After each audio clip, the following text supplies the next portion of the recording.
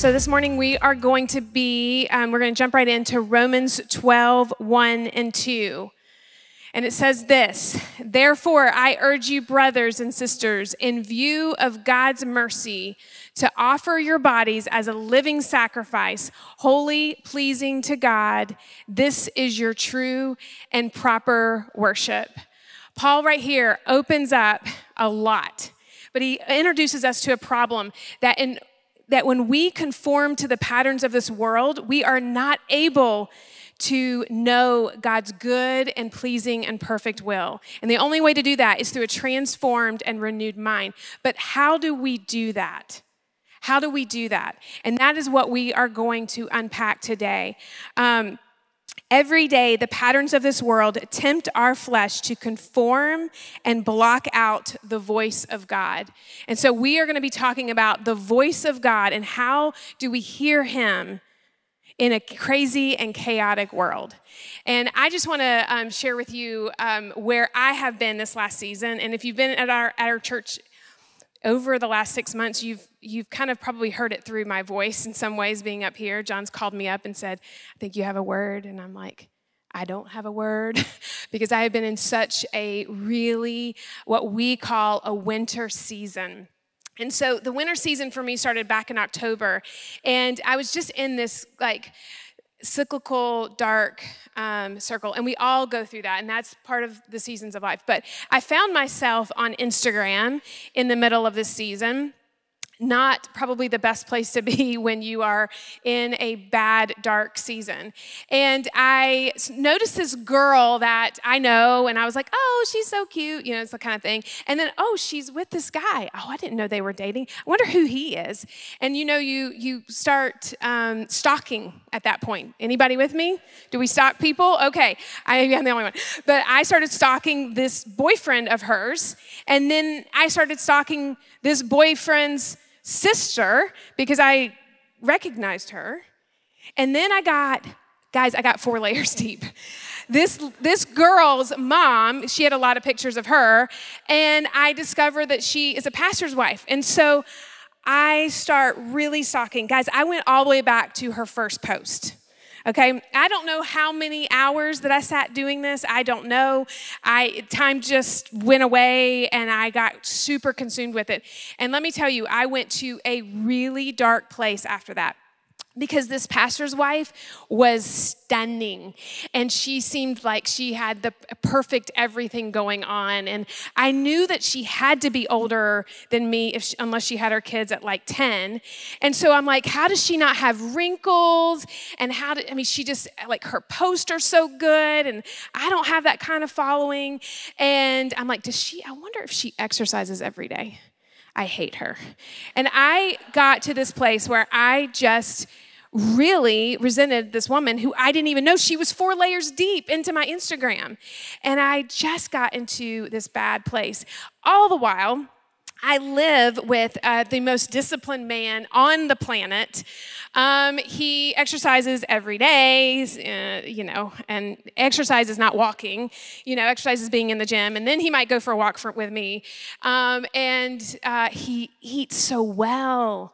And um, every time he'd exercise, I would have guilt. You know, you, do you ever project things with other people? They do something and then you feel guilty about it because they do it and it's not really their problem, but you make them your problem. Well, I began to do this. Like, John was exercising. John would be able to say no to everything. And I'm going, yes, I do want that donut that wandering donut that sounds that smells and tastes so good. I wanted it, and I um, I tell myself these stories and I eat it, and then I feel terrible about myself again. And it was in one of those seasons, which there's nothing wrong with eating donuts. I'll just say that, but there should not be a full rampage of guilt afterwards that I was experiencing. John also has a really great shoe game going on and he he dresses well. And so I'm in the middle of this season and I did not admit any of this to him. I may have admitted it to one friend that like I'm beginning to resent my husband because he looks like Bono on stage with his new glasses and he has great shoes and he's disciplined and he's just yeah he, he's the epitome of what I want to be that I can't be. And again, the spiral. So I'm comparing myself to this woman I don't even know that does not even live here. Has I have no connection except for four layers deep, and my husband. And I find myself in this rabbit hole of comparison and um, self just loathing. I am two weeks later. I go after I see this post, I go into this 18th birthday party. And this 18th birthday party, I wasn't invited because I'm 20. I, I, was invited because I was supposed to cast, you know, this wise wisdom and this sage old wisdom to this uh, this young 18 year old. The mom invited all these older women. It was beautiful to just speak life and wisdom over this 18 year old. And I got through my part and I said what I meant, and it was in the deep of my soul because God has been with me in the past. I knew what I believed about what I should believe about myself and what she should believe about herself. But in that circle, we began to talk, and all of a sudden, somebody said something, and I blurt out this just demeaning comment about myself. It was ugly. And as soon as it came out of my mouth, I wanted to take it back. Have you ever had that? Where you like say something and you're like, crap, did anybody hear me say that? And then everyone heard me because the circle's really small. And the lady beside me is like, hey, can I pray for you afterwards? no joke, she did. And I realized that what I had fixated on is what I had become. It's what had come out of my mouth was what I had been thinking about 24 7 for the last six months of my life and didn't feel great about myself. So, oftentimes, we can conform to the opinions and comparisons of others. This is what we do. We, we take the thousands of opinions that are in self help books, and we have to apply them all, right? And it gets our minds, I mean, our headspace is out of control, right? Women, we hear all of the voices and the opinions of others, and then when we jump on Instagram or any kind of social media, it all of a sudden exasperates the comparison game. And we begin to do that at a fast speed when we conform to the ways and the patterns of the world. We also conform to the ever changing causes and trends of society. Oh my word, I am exhausted. There are so many things that we should jump on board. That's the new cause and the new trend that we should get on. And let me tell you something there are some really good things that we should be a part of, but they may not be the God thing that God is asking of us. And so we have to be able to differentiate that. We also conform to the busy, frenzy culture. And for me, if you are a type um, one, like go getter or type A, or you're a one on the Enneagram or an eight, or I don't know what other ones, but anyway, those that like, I'm gonna go after, I'm gonna go after things, you can very well get sucked in to feeling important by how busy you are. And I believe that our world wants to say, like, it's, it's almost this badge of honor. Like, okay, like, I run a small business, I, am, I, I work full time, that's another place, and I'm a full time mom, I have 18 children, I homeschool, and I am on the health kick, right? And all of a sudden, people are like, oh my goodness, she's the goddess, right?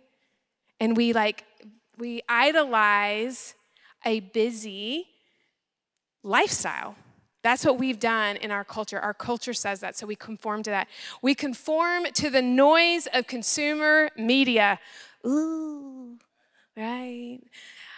So you can hear by how someone talks if all they're listening to is the noise of the media.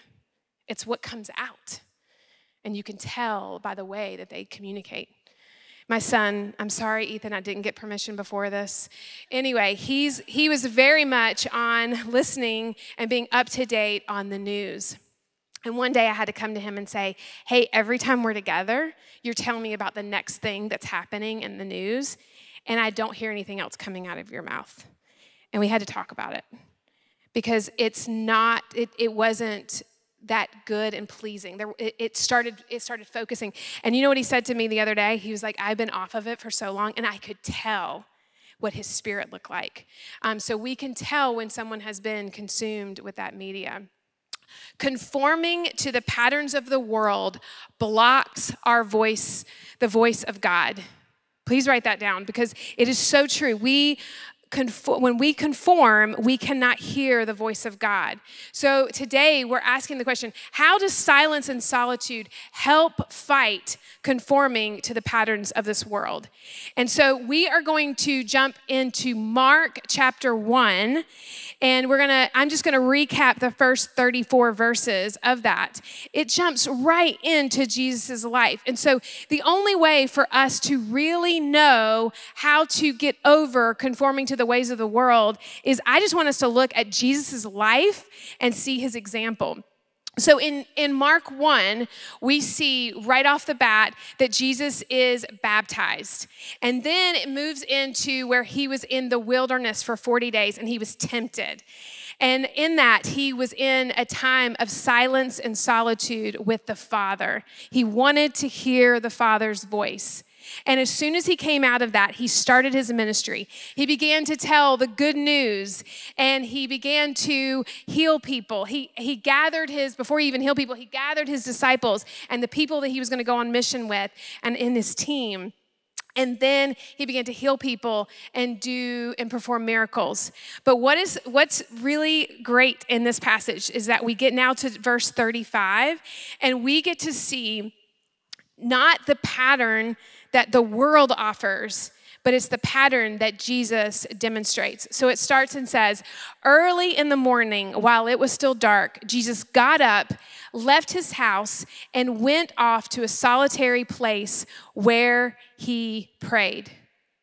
Right here, we see that Jesus shows us our example of getting up, getting out of the comfort of his home, out of the place. He removes himself from people. That's hard. He removes himself from the community around him and he goes out to pray. Silence and solitude is for we it is to detach from comfort and community to be disrupted and directed by God. To detach from the comfort and community. It is comforting to be around people. It is comforting to be busy. I have an obsession to meet the needs of my children and my husband. For whatever reason, that makes me feel better. That is comfort to me. And at times, God is asking us that a pattern in our life is that we detach from that. But I want to talk about why do we sometimes not do that? We do that. We, we, we sometimes uh, we resist doing that because we fear being alone in this season, John um, went out with some friends, and for whatever reason, it triggered me. He has friends, he goes out, it's okay. But for some reason, I was alone. And instead of embracing being alone with God and saying, God, tell me more about yourself and what mission you want to put me on, I self loathed at that time. And I did not want to be alone because I didn't like myself. I didn't like who I would be with if I was alone. We also fear being alone with our own thoughts. So my thoughts were self loathing and tearing myself down. And I, I was in a spiral. And so I was afraid of what, what I would hear myself tell myself. Have you ever been that way? You get in that place where it's just, yeah, I don't want to hear my own thoughts. We fear what people might think. Okay, so I'm going to lean into this with women. I have never seen in our history and in our culture people go, Yay, a woman went off and she was alone. And it was so, I just am so happy for her. She did nothing. She was not busy. And I know that, like, when I, I mean, I went away for a day and a half to prepare for this message, but also just to hear from God, to practice what I'm preaching. And I, even in that moment, had these moments of like, well, I'm not taking care of my mother in law. I'm not, I'm not, what, what are people thinking? I'm not doing anything that's really important. And at least I had the message to lean on to, right? But if I didn't, I would really feel like I wasn't doing something important. And sometimes we can get in our heads that that that spiraling like this is not I don't get a badge of honor for doing nothing. But when we are alone with God, there is so much. I mean, our our success in life and what God is asking of us is tenfold, and that's what we're going to begin and continue to unpack this morning. But sometimes we worry about what people think and we and we don't take that time away. We and I want to I'm going to keep going here because how um, comfortable is it is to say I got a babysitter so that I could go have silence and solitude? No, that's weird, right? That would be weird in our culture. But it's not weird for us to say, I'm gonna get a babysitter so I can do my second and third and fourth job. Or I'm gonna get a babysitter so I can go out and have wine night with the girls, right? Or I'm gonna get a babysitter so that I can go out with my husband. But it is weird to say, I got a babysitter so that I could go walk on the trails and hear from God. That just seems weird. We also fear what God might ask of us. Is He going to ask you to go and live in Zimbabwe? And you've always feared flying on a plane and you're like, I don't know, I don't want to, I don't want to hear from God. I don't want to hear God tell me that. But also, maybe we're, we're fearful not of some big mission that God's going to ask us, but maybe He's going to ask you to call and reconcile with that father or mother or brother or sister or friend. And we don't want to hear that. That can keep us from going into this, these moments of silence and solitude. But I want us to look at what um, happens next. But soon after, and this is Mark 1:36, but soon after Simon comes and finds him and says, "Jesus, where have you been? Everyone is looking for you." Jesus, where have you been? Guys, even Jesus could not get over the culture that's like, I have expectations of you. You should not be in some silent and solitude space. There's, there's people, there's needs to be met. Everyone is looking for you. Where have you been? We can be consumed by what people think and the needs that are calling us that seem greater and more important. But this is how Jesus replied Let us go somewhere else to the nearby village so I can preach there also. That is why I've come. And keep that verse on the screen because I want to lean into two things on that. Let us go somewhere else. When Jesus was alone with God and he heard God's voice, he had clarity of where he was supposed to go. He had clarity. He knew exactly where he was supposed to go. And he says, That is why I've come. He knew and proclaimed, Hey, this is why I've come. He also came for the people before. Remember, he was healing people and he was, he was doing miracles and he had a crowd of people around him. But here's what's crazy is Jesus did not get sucked into people pleasing, crowd seeking, and followers growing rat race. He didn't do it. He's, because of his time with Jesus, he said, You know what? I know that I could build my, my empire and how important I am because, you know, all these people love me and they want me and they're asking for me. And I know, Simon, you told me they're asking for me, so maybe I should go back because I'm so needed and I'm so important and I'm going to go back to this old mission. No, he heard from the Father. And the Father was so clear on what his next mission was. And when we have time of silence and solitude, it is clarity on how we are supposed to truly meet the needs of those people that are along our path. That is why I have come. That's what Jesus says. So silence and solitude tunes out the patterns of the world's patterns and tunes in God's good, pleasing, and perfect will. That is what happens when we spend time in silence and solitude. It goes on to say he traveled throughout Galilee, preaching in their synagogues and driving out demons. So Mark 139. He continues on his mission. He, he had a new mission that God was calling him to. And I think we are in such a busy, frenzy culture that it is so hard for us to hear God's voice. Silence and solitude decipher what the world wants from us with the needs God wants to meet through us. Isn't that right? Like there is a differentiating, like it, we can see the clear line. And this past this past week was awesome. I felt a lot of clarity.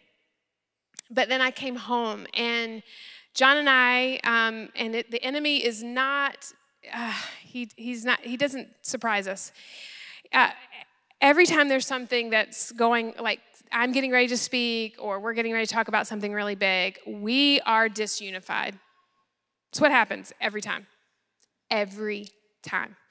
And here's the pattern that I have been in in my life is, and even down to just even going to work. If John and I are disunified and we are having like where it is not good, you know what those, those fights are? That's not good.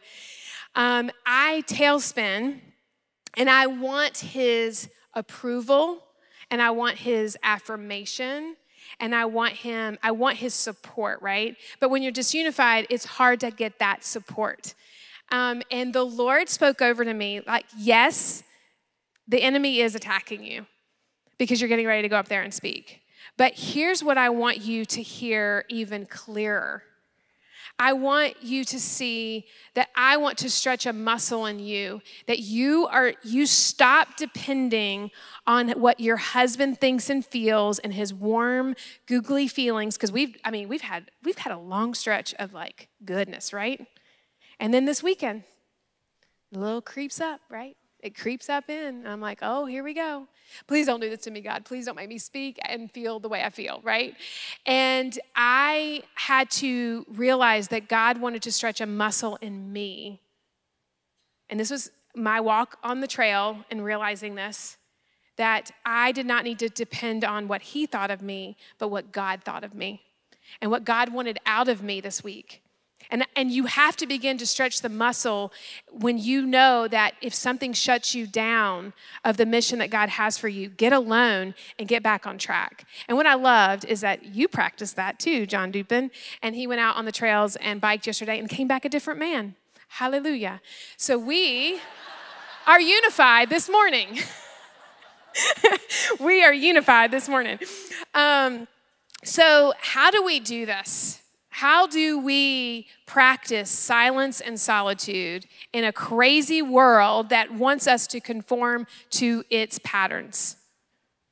Okay, first, before I jump into that, I want to say that time with, with God is safe.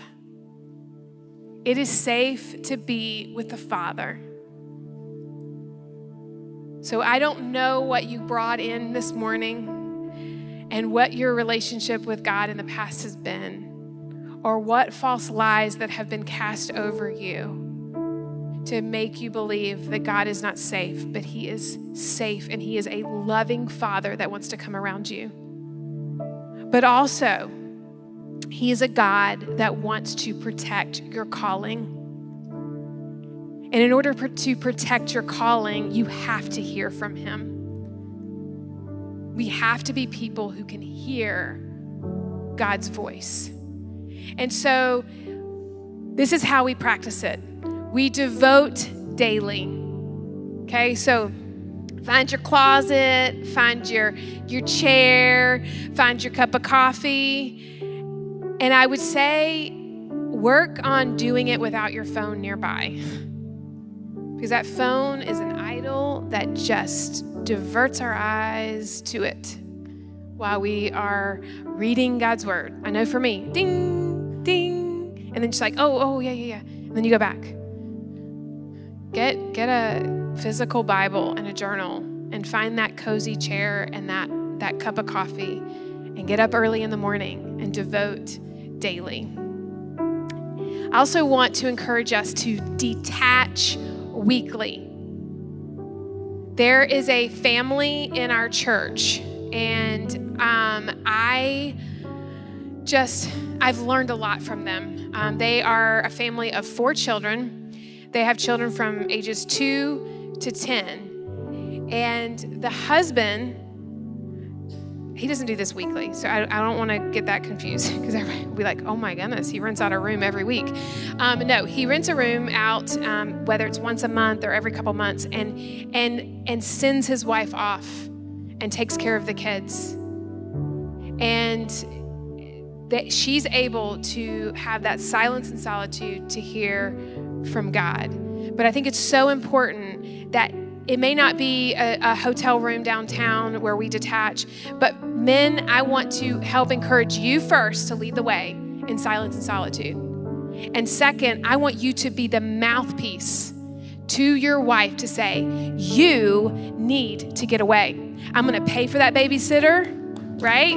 I'm going to pay for that babysitter. I'm going to um, I'm going to keep the kids myself, whatever it might be. But I want you men to lead the way to say this is important. Because if your wife is raising children and she has no time to hear the father's voice without anything going on around her, it's going to be very hard for her to hear. It doesn't mean that God doesn't speak to women and men in, in their life and with their family around. He absolutely does. But I just want to encourage men and women to help each other practice this. But detach weekly may even be with your kids. But detach yourself from the patterns of the world. Turn the TV off, turn the phones off. Sabbath, take a break from hearing the noise as a family. Put the, the phone in the closet and say, God, we just want to hear from you and we want to enjoy each other's company. Sabbath together. And the, and the last thing I want to say is disrupt yearly. We should have a yearly disruption of a vacation that says, God, I'm gonna, I'm not talking about vacation in Florida and going from all the different amusement parks, right, where you're staying busy the whole time. But I'm saying, as a family, that is so important for you to disrupt yearly for you to hear and spend time together and, and hear the voice of God when you're not running to work and running to baseball games and soccer games and music lessons. And, and guys, our world is telling our, our even we tell our children that you must be everything. You must be the, the, the best musician and you should be the best athlete at the same time.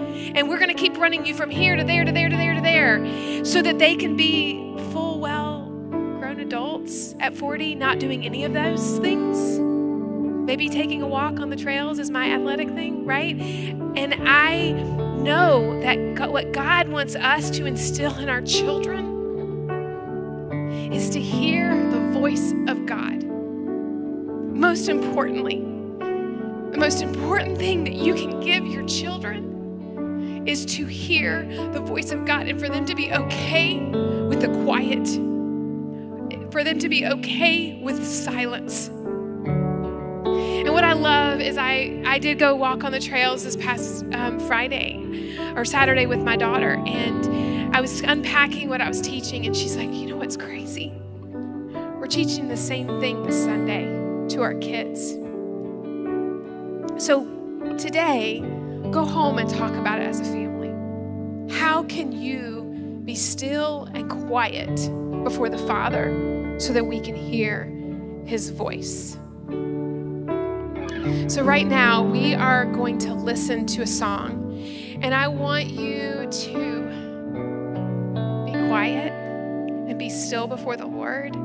If you need to get on your knees, you can do that. You're always welcome up here.